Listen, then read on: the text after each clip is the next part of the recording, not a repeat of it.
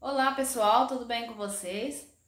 Hoje eu vou mostrar para vocês como que eu faço a gordura, a banha de porco que eu uso aqui pra gente cozinhar. Que a gente usa pra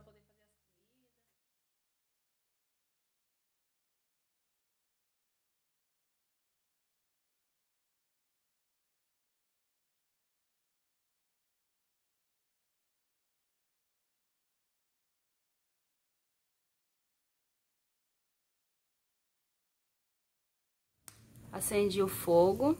Vou fazer o torresmo aqui no, no fogão de lenha, que eu acho mais rápido do que no fogão a gás. Eu tenho aqui uns 3 quilos de torresmo, tá tudo misturado, banha, torresmo. Aí eu vou precisar de uma panela grande.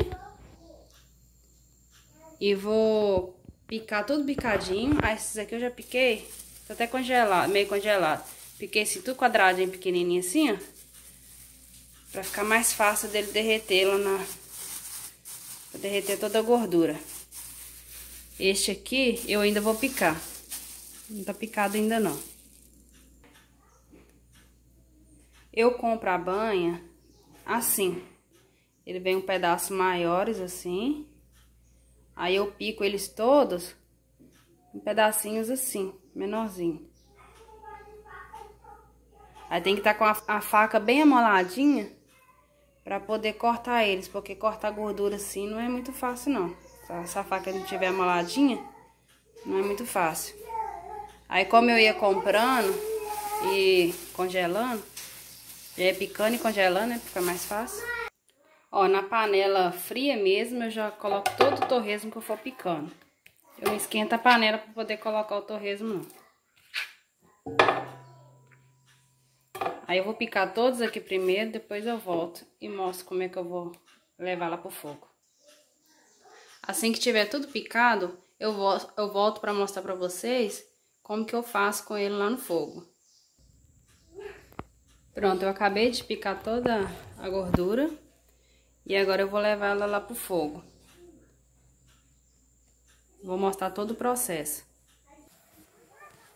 Então, coloquei a panela no fogo já com a gordura.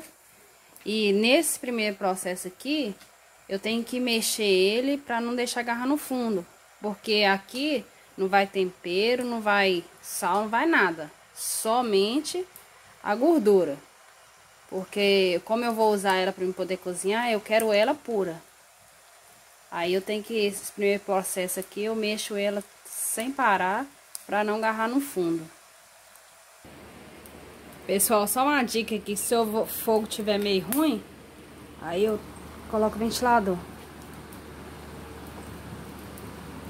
Rapidinho o fogo desembola. Ninguém merece, né, fogo morrento não. Tá vendo?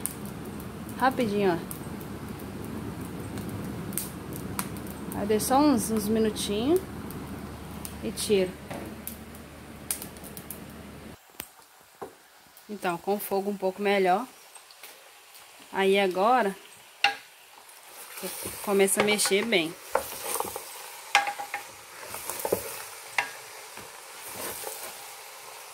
Tá vendo que tá começando a dar uns estalinhos?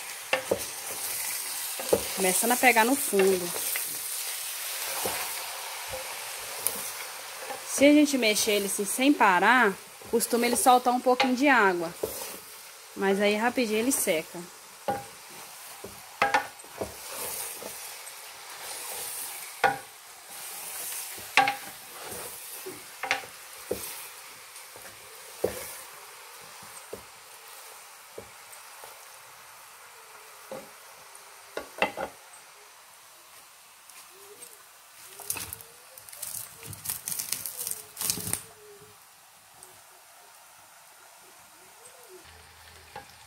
Neste caso aqui será um pouco demorado, porque tem bastante gordura aqui.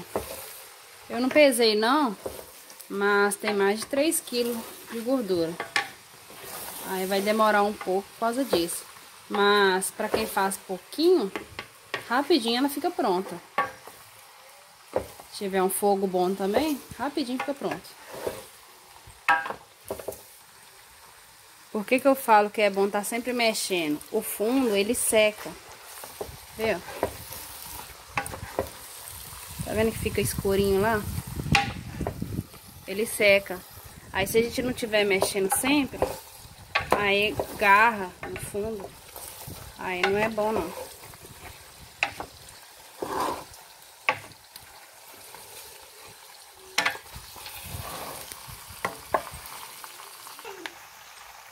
Aí, já tá começando a soltar a gordura. O fundinho aqui já tá... Já tá bem úmido já. Não dá pra ver na câmera não, mas... Ah lá. Acho que agora deu. Tá começando a soltar a gordura. Aí o que é mexendo, e mexendo até começa a fritar mesmo.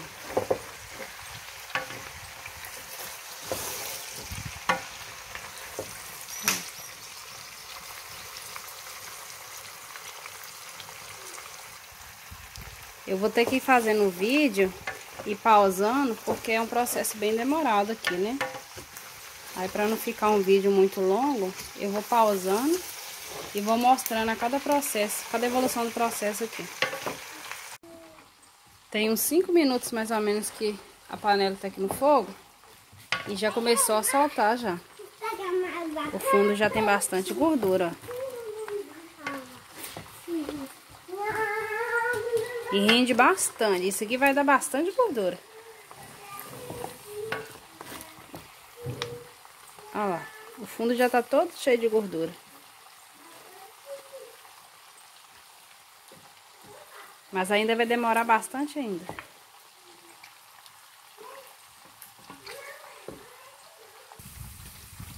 Já começou a soltar bastante gordura já. Olha o tanto de gordura que já tem.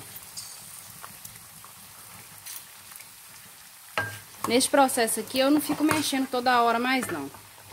Eu só dou uma mexida, paro, espero um pouco, dou mais uma mexida. E é assim. Até ficar tudo bem fritinho.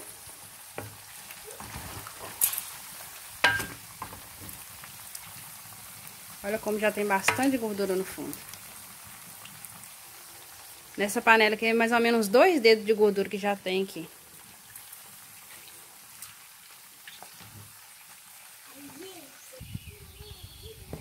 Já, sol, já tá fritando aqui, ó. Já soltou bastante gordura. E ainda vai soltar bastante ainda, porque eles estão bem gordinhos, ó. Quando eles estão fritos, ele fica sequinhos.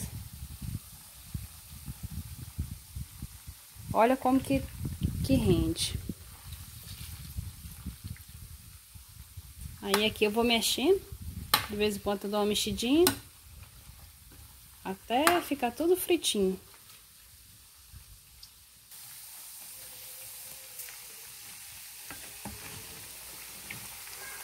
Está quase pronto. Nessa... Nesse momento aqui, eu costumo tirar um pouco de gordura, porque eu quero ela bem clarinha. Eu vou ir tirando e vou colocando os canecão, que aí eles esfriam fica mais fácil de eu colocar no, nos potinhos de plástico. Aí eu coloco nos, nas porções de plástico, lá nos potinhos de plástico, que fica mais fácil para mim usar no dia a dia. É bem clarinho, ó.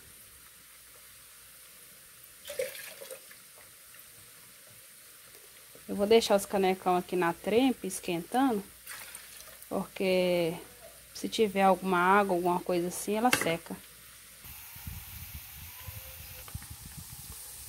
Este é o momento que eu tiro toda a gordura, porque os torresmos já está praticamente pronto. Mas aí o que, que eu faço? Eu tiro todo esse torresmo aqui, guardo ele do jeito que tá aqui. E quando eu vou usar, eu só dou uma fritada nele, para ele pururucar. Aí eu vou tirar toda a gordura aqui, eu vou ver quanto, é, quanto de gordura que vai dar e mostro pra vocês.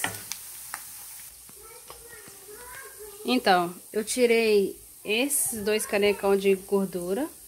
Esse aqui tem aproximadamente um litro e meio um litro e meio. E este aqui tem um litro.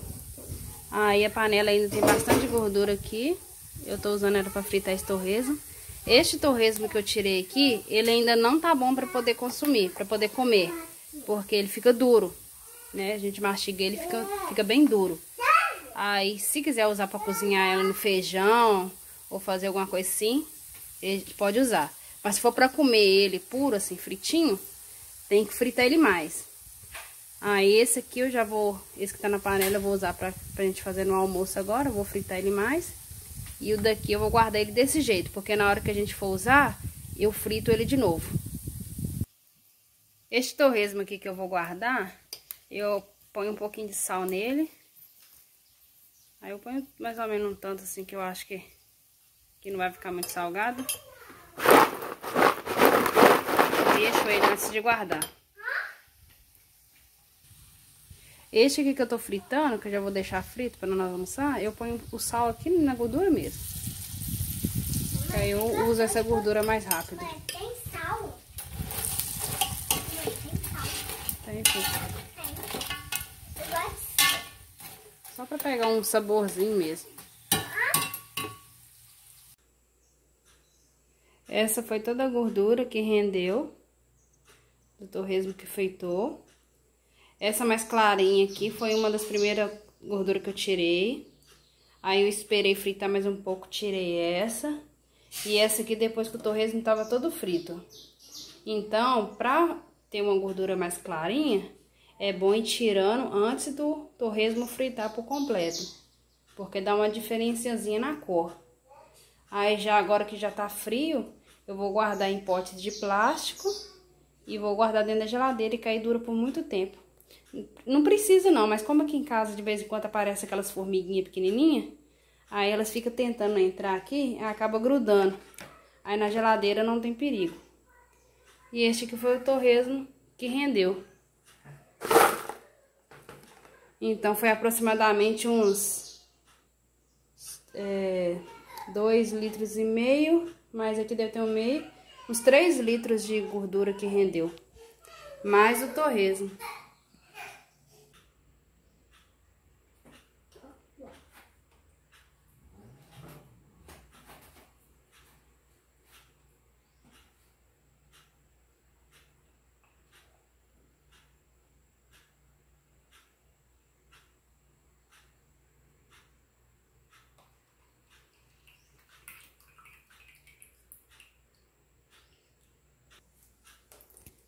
Então, renderam esses potinhos aqui, gente.